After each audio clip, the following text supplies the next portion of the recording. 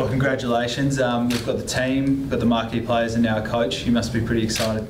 Couldn't be more excited to be um, a part of this. In fact, 12 months ago, I would never have expected that um, coaching a bit of football in Canberra and being involved in footy all my life growing up would actually lead to one day sitting here as the inaugural coach of the Adelaide Football Club, the women's team. You say you didn't expect it, but has it been a dream for a while? Absolutely. I think um, every every little kid growing up, uh, whether they're uh, uh, male or female, wants to uh, be involved in the AFL one day. So. Um, that's just it's now a pathway that's real for, for women and girls around Australia, and Adelaide is, is one of those is is the club of choice here that we that we want to promote. Um, coaches, uh, players, and administration support staff too. So you've got that pathway now available for these younger female athletes, but for the team now, what are you hoping to do in this first season? I guess that's a good question. Um, I mean, this is building. Um, you know, we've, we've got to start somewhere. So I'm, I'm not going to say to you, you know, we're going to win seven out of seven games or we're going to lose seven out of seven games, but we've got to build and start somewhere. Um, and, and, that's what it'll be to start with. We've got to get the playing list together, uh, work out the kind of style of footy that we want to play, and, and go from there. So, how, how, would, I guess, saying that in your first season, how would you gauge uh, success? What metric will you be using? I think. Uh, the fact that um, a, a, good culture um, and starting starting something uh, special that that uh, little girls and, and, women in Adelaide uh, aspire to is, is how I would, I would gauge success in the first year. You mentioned the style of gameplay. Is yeah. there? Can you give us any insight into what we can expect from the um, from the team in the first couple of games? I think at this stage we've, we've obviously got our marquees signed, and there are a couple of great players in Chelsea Randall and Kelly Gibson. Um, but until we get the rest the rest of the uh, ingredients, we can't really make the cake yet. So it, it's all well and good for me to say, oh, we're going to have a run and carry style game, but until we, we build the rest of the list, we can't we can't make those those calls. But what I will say is that I want to encourage um, open football where um, the athleticism of the women on our list um, is able to be demonstrated in the competition, where we can see some great high flying marks, some good long kicking, and a really exciting brand of football to watch that people want to watch. You mentioned the two marquees. Um, you must be pretty excited having seen their highlight reels they're fantastic players. In fact, I spoke to both um, Chelsea and, and Kelly in the last 24 hours, um, and I've, I've actually seen um, both of the girls play over the course of the last um, five or six years, and they're really exciting to watch, and, and what a coup for us to have them here at our club.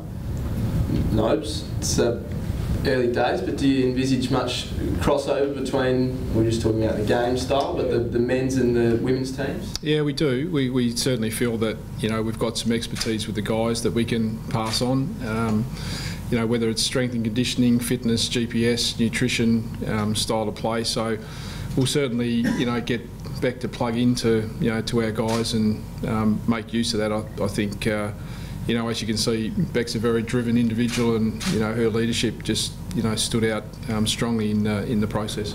Did, was it a Candice? Did everyone have to uh, apply for this, or did you uh, hand select? How did, how did no, no. It was an application. We we uh, we had a number of candidates, and they. Uh, they came and presented, um, and it was identical to the to the guys format that we've used with our, our last couple of processes with our uh, our senior coaches. So um, we've said all the way along that you know we wanted to be the, the club of choice for the girls, um, and that included you know securing who we thought was the best coach to, to move us forward.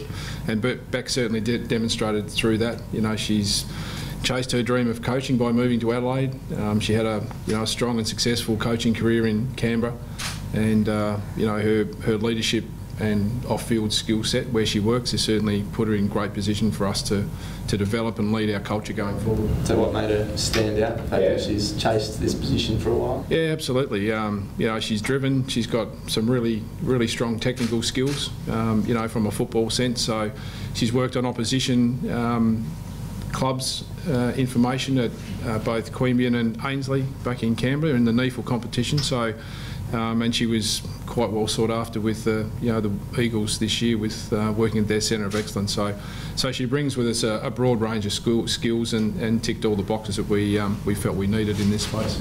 Bec Nobes talked about just briefly there about your stuff outside of football in terms of your work with the with the AFP. How much has that helped you? Do you think you know coming across transferring those, those skills that you've gained during that long career? Yeah, I think heaps. I actually think uh, working for the AFP and, and coaching football are actually quite similar because you can um, train and plan and prepare for any kind of situation, but come game day or come work day, you never actually know what's going to unfold when you get to work or when you get to get to football. And I sort of thrive on those uh, uncomfortable situations um, and, and push through and, and like to um, be able to lead teams in that context. So I, I suppose that they are quite similar in that regard. There may be things with the AFP where you can't talk about, but you know, were you going out in the field or? Yeah, currently I'm the uh, the team leader of the joint anti-child exploitation and team in. Um, in Adelaide, uh, and that's a joint team with South Australia Police. So uh, we look after and protect um, kids online. Um, and that's a really that's a really big um, big area of focus um, for the AFP also. So that's the type of work I'm doing at the moment, which I find quite rewarding. The players can expect a bit of a drill sergeant on the track. um, I don't think I'm one of those uh, coaches that sort of rants and raves and points fingers or anything like that. I, I feel like I, my communication style probably that I've developed over the years at work um, and at football through all different levels of coaching, whether it be coaching uh, NEAFL players who are earning you know just around under 100 grand a season down to youth girls players, females in under 18s. The message is the same. It's just how you deliver it. So you, to get the best out of your players, you've just got to adjust your message a little bit. Was this a position that you had identified, like when the, when obviously the you know league was first talked about, and obviously when the Crows you know sort of got their licence earlier this year? Look, I knew that I wanted to coach. Um, uh, in the AFL um, and, and that there were opportunities in the women's space to do that. Whether um, I was going to be able to break into that market, there is actually uh, a number of great female coaches out um, in Adelaide and, and around Australia. So I feel quite lucky to have been successful, successful through this process and um, ended up here today. You've obviously coached some men's football, you know, um, before as well. Do you sort of is that sort of your aspiration at the end to be on a coaching staff in a, in a men's team?